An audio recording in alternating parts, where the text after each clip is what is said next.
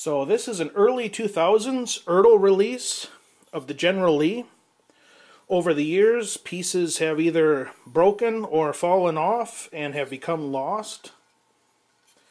Sadly, its life as the General Lee is soon coming to an end, but it will be reborn as a test car for future Mopar barn finds.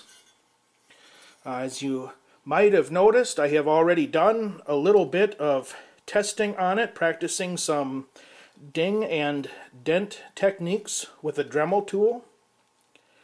And when I was drilling out the roof rivets that held the glass in, I managed to punch through the roof not once, but twice with the drill bit.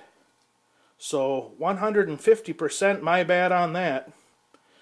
Uh, if I ever wanted to use this car in a barn find diorama, those holes could easily be filled with epoxy or putty and sanded smooth, so not really a huge deal there.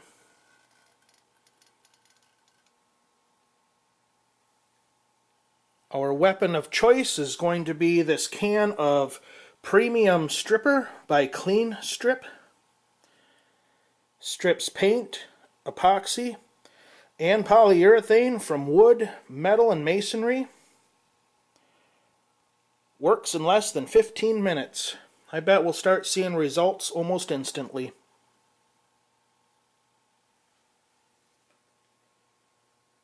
And now the time has come to say goodbye to this General Lee. I hope you had a good life, and we'll see you on the other side.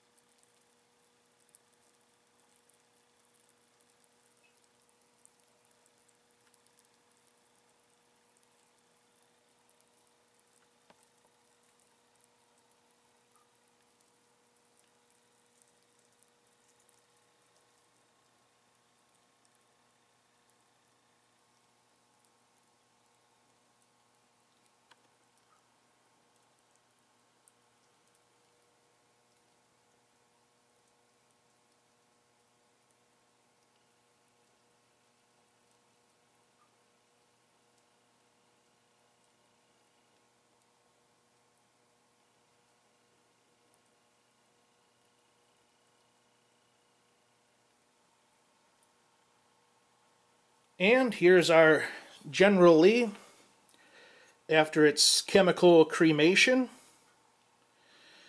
Uh, it turned out very well.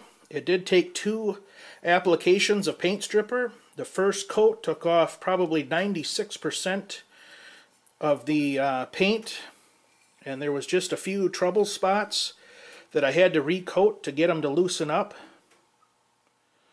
Uh, it has been washed in a mild detergent with warm water and we are ready to spray on a primer coat to help protect the bare metal.